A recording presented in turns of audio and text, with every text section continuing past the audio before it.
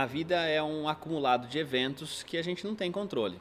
Começa pelo fato de que nós nascemos e existimos e a gente não escolheu existir, a gente não escolheu nascer, a gente simplesmente nasceu.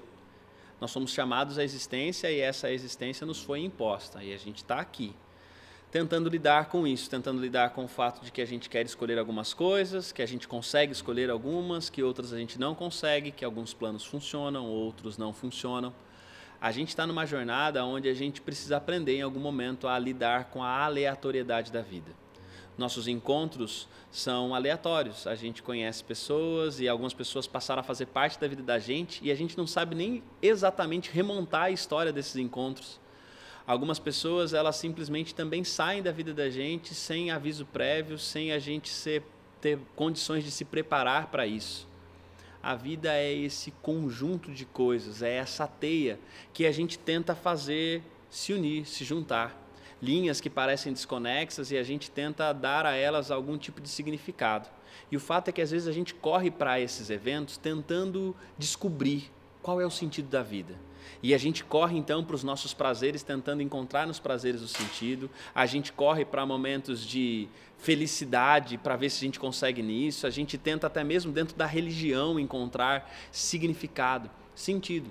A gente fica tentando encontrar uma maneira de conectar esses pontos aleatórios para dar para eles um propósito, uma finalidade. O fato é que não existe o sentido da vida não está nas coisas que nos acontecem. A gente não vai simplesmente encontrar um propósito, talvez você já ouviu isso até mesmo alguém falando, olha, Deus tem um propósito para isso na sua vida. E na verdade, o propósito e o sentido da vida não está nas coisas à medida que elas vão acontecendo. Não é simplesmente olhar para os eventos e tentar encontrar sentido neles. Nós encontramos o sentido para a vida, encontramos um propósito para a nossa existência e emprestamos, damos, a, damos aos eventos da vida esse propósito, esse sentido eu tenho um sentido para a minha vida. Por isso, eu sei o sentido do sofrimento quando eu sofro.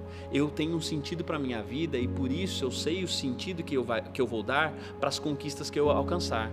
Eu dei, consigo dar sentido para as perdas, eu consigo dar sentido para os encontros e para os desencontros. Eu não vou para a experiência da vida para encontrar o sentido. Eu já encontrei o sentido e a partir desse sentido eu me relaciono com os diferentes eventos que estão acontecendo. O que você precisa e pode ter é um sentido para a vida e a partir desse sentido encontrar novas maneiras de se relacionar, de se conectar e de conectar também as diferentes experiências e a aleatoriedade das coisas que estão acontecendo com você.